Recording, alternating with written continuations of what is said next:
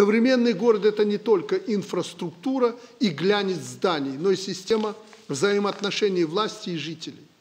Умение видеть проблемы других и решать их – вот признак современного и развитого общества. Видеть проблемы других. Среди тех, кому государство в первую очередь должно оказывать поддержку, люди с ограниченными возможностями.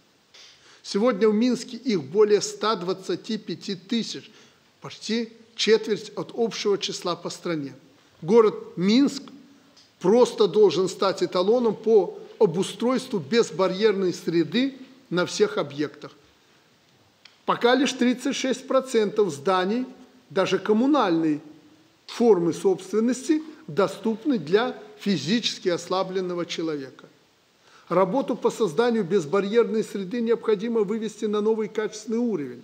В первую очередь это относится к транспортной инфраструктуре, а также к объектам массового пребывания людей – Однако лучший путь – это планирование городской среды таким образом, чтобы избежать искусственных преград.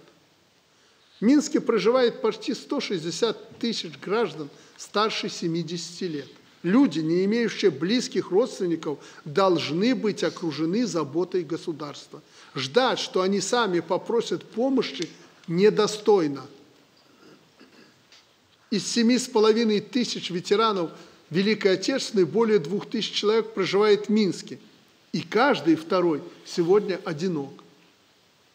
Мы этим людям должны уделить особое внимание, учитывая почтенный возраст и неоценимые заслуги перед нашей Родиной.